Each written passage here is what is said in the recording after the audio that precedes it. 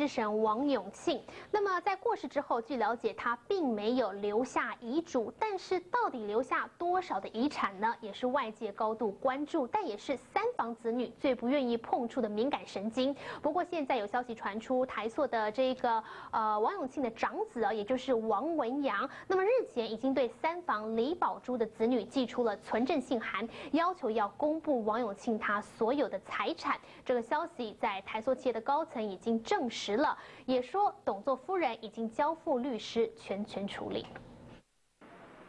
红人公司外有不少媒体守候，因为台塑创办人王永庆长子王文洋发出存真信函，要求公布王永庆名下财产。对此，王文洋一个上午都没有现身，集团也不愿对外表示任何意见。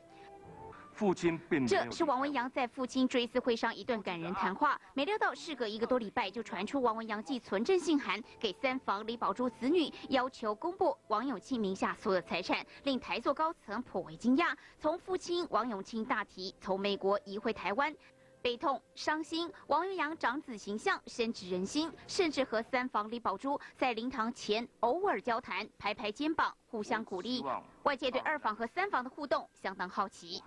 从台塑企业公开说明书公布王永庆名下台塑四宝的持股，包括台塑、南亚、台化，就将近四百六十多亿，加上亚太投资账面价值将近五百亿。如果再加计已经信托到长庚医院的相关财团法人名下。金额更可观。而对于王文洋是否已经寄出存证信函，台塑高层并没有否认，只强调王永庆董事长夫人李宝珠子女已经交给律师处理，他们会跟律师商量未来如何回应。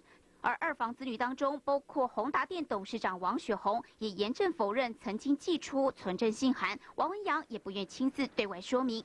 王永清大体还未下葬，三房九名子女的遗产纠纷已经公开上演。中天新闻，国王署张振威综合报道。